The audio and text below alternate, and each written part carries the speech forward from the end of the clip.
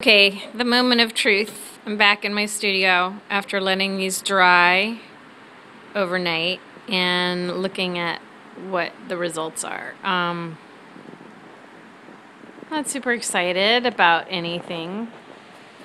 This one, for instance, I think it was more interesting before I put that um, iridescent over it. You know, I've lost some of the composition stuff that was happening, you know, the light and dark contrast that was creating some forms there and I've sort of blurred that out and um,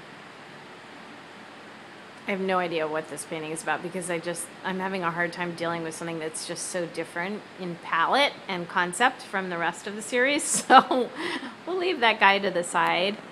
This one is okay but it's sort of sad because there were layers under there that were interesting and what I want to create is sort of a palimpsest which is where you see the layer the effect of layer upon layer. And what I did was create layers that obscured what was underneath. And so it feels like a lot of my work has gone to waste.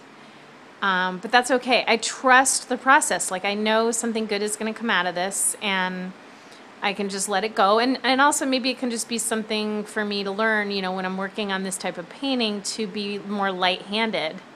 However, sometimes I can get too uptight and too light-handed and too tentative and then I don't take the risks. I don't, you know, make, discover new things. You know, risk, discovering new things almost inevitably um, is a result of taking some grand risks or even just playful risks, as you heard me yesterday. So here I am. Okay, and then this one is just like, ah, I'm so not into this.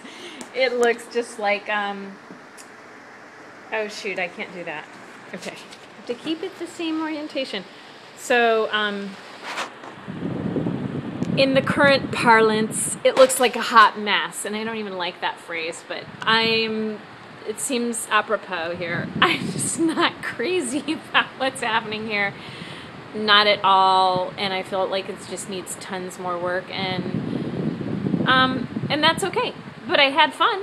And that's always worth it to me. So let's just look. There's some interesting little passages, you know, of some of that movement. Like, the scale and composition of that movement, but what happens is when you get on the grand scale, it's just lost and there is no compositional anything that's interesting to me. So as far as the most successful at this point in the game, that doesn't mean in the end that this will be the most successful, but I'm really pleased. Again, this has that palimpsest.